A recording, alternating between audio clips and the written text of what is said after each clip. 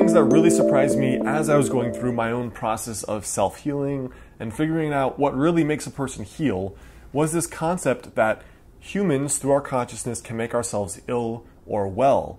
And that if you want everything to work in your favor, not only should we focus on the material parts of our body and our life, but also the non material or the immaterial.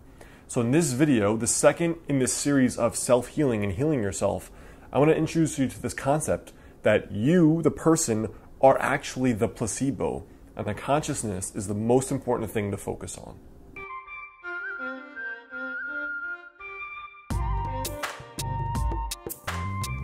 Hey, I'm Alex Heyne, author of the book Master the Day, current doctoral student in traditional or classical Chinese medicine. Now, I've also included a little cheat sheet down there below. So, that cheat sheet is how to add 10 years to your life with traditional Chinese medicine, a few practices, and a few habits. So, click that first link in the description, you'll get more of that there. Now, this idea that consciousness affects material reality is a huge foundational concept in traditional Chinese medicine. It's one of the most important classical concepts, and I stole this headline that you are the placebo from a Joe Dispenza book called You Are the Placebo.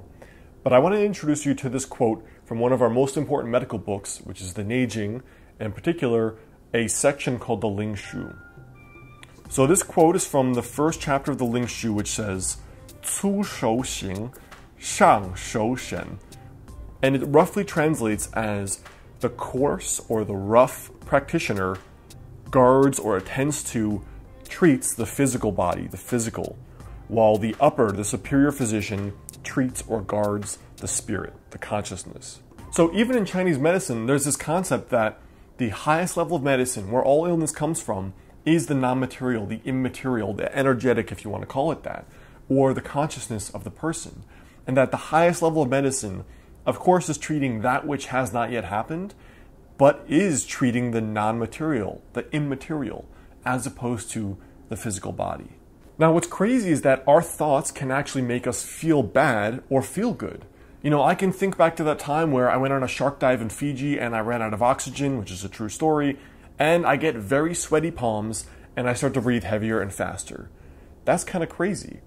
And I can also think back to an awesome childhood memory or a vacation and I feel that heartwarming, laughing, giddy feeling. And so humans are both blessed and cursed with this power to control our consciousness and therefore literally affect our physiology. But here's what's crazy if you're trying to heal yourself that thoughts and beliefs then affect our physiology. And I'll give you some examples. The question is what if I've had like a chronic illness for a long time? If for 20 years, every day I've woken up with pain, every night I've been unable to sleep, every day I've been constipated, every day I've had this fever or chills or this recurring pattern, how can I possibly believe something different?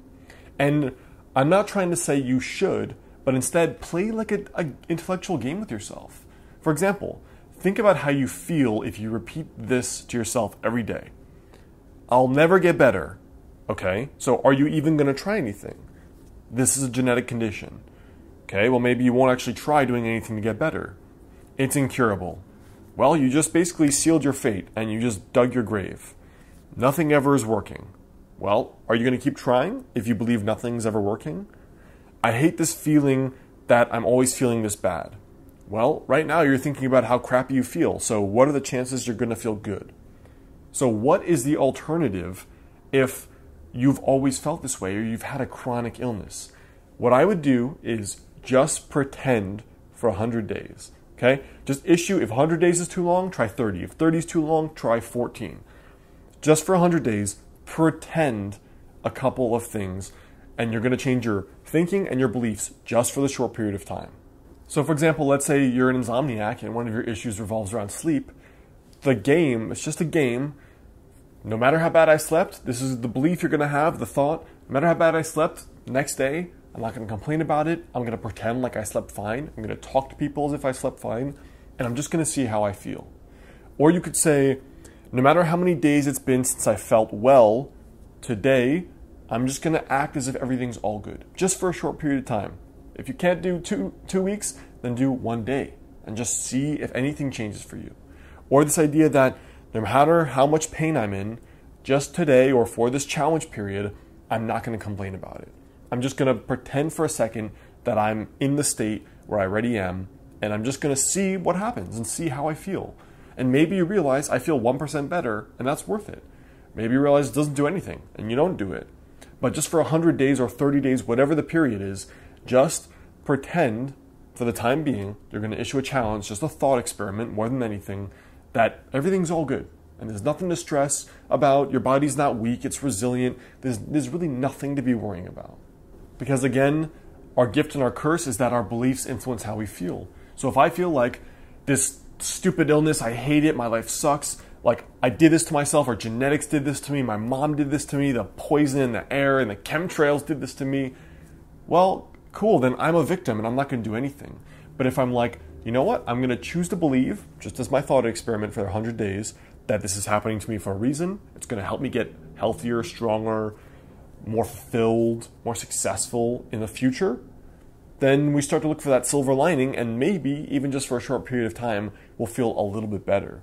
So that is my challenge to you. The second thing that to remember that you are the actual placebo. There's no placebo effect. It's the humans, the persons, the consciousness, the mind that generates that effect. And so I'm not saying this is going to cure your cancer, but what I am saying is that just try it, see if it makes you feel any different, and if it does, it's something you can continue to do in the future. So I hope that helps. Remember that saying from this Chinese medical text the highest level is governing or dealing with the spirit, the non material aspect of the person. The lowest level is dealing with the physical form, the physical body. So consider that because we humans are stuck in between these two worlds that we both have to negotiate. All right? And again, my last two videos you can check out are right there and right there.